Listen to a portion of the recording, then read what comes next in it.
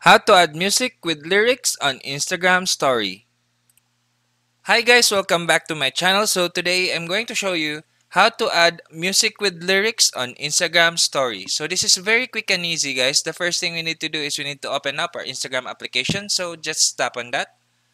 And now guys, once we are on our Instagram home screen, what we need to do next is we need to tap on this plus sign here at the bottom center. So just tap on that. And now make sure that you go to stories since you will be on the post. Now choose the story. And once you are here guys, you can now use your camera to record a video or you can also use gallery to use some photos as your background. But for me, I will just choose this AA here. And now you can now change the background if you tap on this small circle at the bottom right. And once you have chosen the background guys, what you need to do next is you need to tap on the sticker here at the top.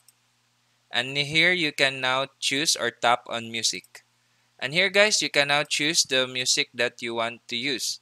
Now I will choose dandelions, dandelions, and then tap on that. Now as you can see, we, we, we are able to choose for the design of the font. And once you are done guys you can also uh, select the specific lyrics that you want to be uh, on your screen. Now once you are done you can also uh, adjust the color of the font.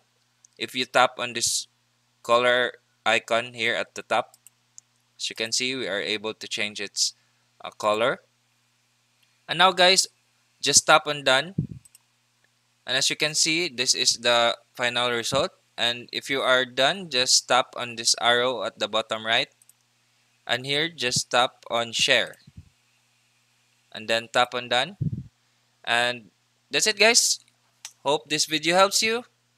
Thank you for watching. I hope that I was a big help to you guys. And don't forget to give this video a big thumbs up leave a comment below turn on the notification and subscribe for more tutorial videos